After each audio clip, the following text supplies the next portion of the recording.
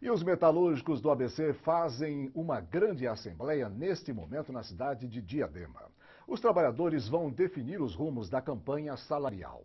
A categoria quer fechar com os grupos de empresários que ainda faltam um acordo por dois anos, assim como foi aprovado pelas montadoras. Os trabalhadores estão mobilizados e acreditam que a mudança na cobrança do IPI para fortalecer a indústria nacional possa ajudar a conquistar um bom acordo. O que, você achou, Gilberto, desse aumento do IPI dos carros importados? Importante para que tenha incentivo no mercado interno.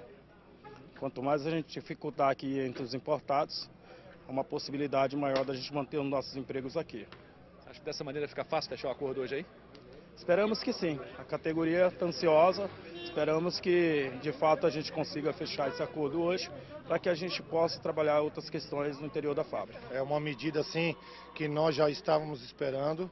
Né? e veio é, coincidindo com uma campanha salarial e veio para dar um tom até é, de confiança para os empresários também no setor de autopeças, para que a gente pudesse chegar a, a, a, um acordo ou a proposta que vai ser colocada aqui hoje né, os trabalhadores.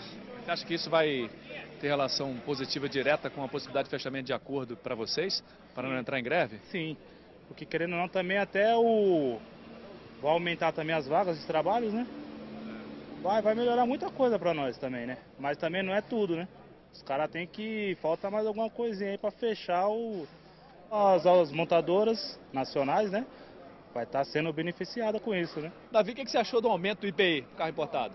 Eu acho que foi tudo aquilo que o nosso sindicato já vinha reivindicando junto com os trabalhadores nas fábricas. Né? Era o encarecimento do importado, que por conta desse trabalho a gente acredita que é, o governo é, faz com que os importados entre menos no nosso país e a gente preserve um pouco mais o nosso emprego e a gente possa vender mais os nossos carros feito e produzido com peças genuinamente nacional, né? Então, como é que relaciona, como é que se relaciona esse aumento com a possibilidade de fechamento de acordo hoje aqui?